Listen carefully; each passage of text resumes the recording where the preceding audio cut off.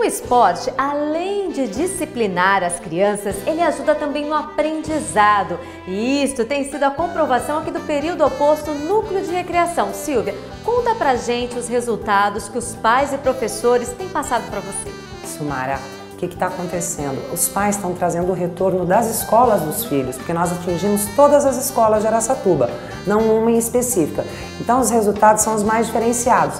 A criança ela está apresentando melhor disciplina escolar, ela consegue porque o esporte é disciplina. Então ele tem regras e essas regras estão excedendo os nossos portões.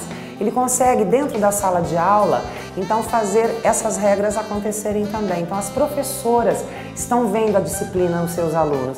E isso é resultado do nosso trabalho com o esporte, com o karatê, com o vôlei, handball, futebol, natação e nós também temos o nosso apoio escolar. Então isso a gente está passando para os alunos. Bom, e as matrículas estão abertas, não é mesmo, Silvia? Isso mesmo. Floriano Peixoto, 1188. Telefone 3301 5756. E o período é o oposto da escola. Vem pra cá.